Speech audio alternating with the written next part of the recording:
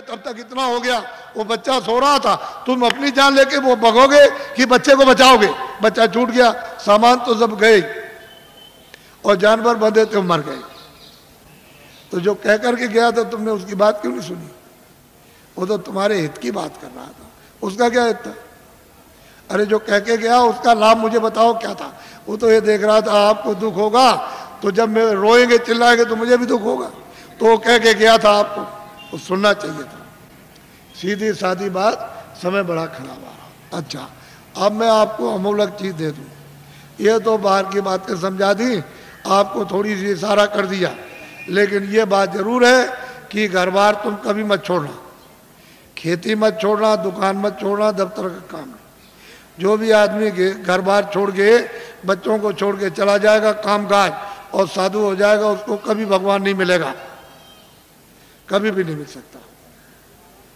ये पहले मेरी बात को ध्यान से सुनो, अपने घर में रहो, बच्चों के बीच में रहो, इसी जगह। और तेईस घंटे तुम मेहनत करो इस शरीर से, शरीर के लिए। दुकान करो, दफ्तर का काम, खेती करो, इस शरीर के लिए, भोजन कपड़ों के लिए, इसके लिए, दवा के लिए, सब, और बच्चों के लिए, इसके लिए। और एक घंटा उसमें से बचाओ। अपनी जीवात्मा के धन के लिए। ताकि इसको कल्याण हो जाए, इसकी मुक्ति हो जाए। ये आवागमन से छुटकारा पा जाए, न जल में न मरे। एक घंटा तुम नहीं बचा सकते हो। और तेईस घंटे इसमें तुमको लगाने को कह रहे तुमको ये तो नहीं कह रहे कि तुम छोड़ देना को ये तो सोचो तुम। और मैं तुमको इसी मनुष्य रूप मंदिर में, इसी में जो अनमोल मनुष्य मंदिर, जो दिया जिसमें जीवात्मा बंद है, उसी में मैं अभी रास्ता आपको बताता हूँ।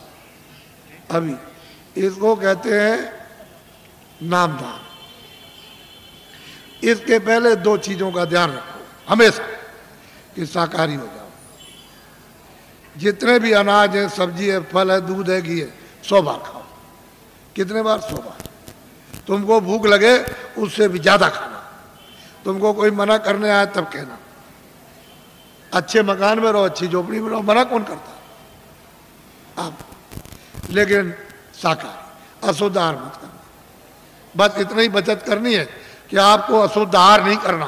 किसी आदमी का, किसी बच्चे का, किसी पशु का, किसी पंछी का अशुद्ध नहीं करना। आहार करो आप, जिससे शुद्ध बुद्धि रहे।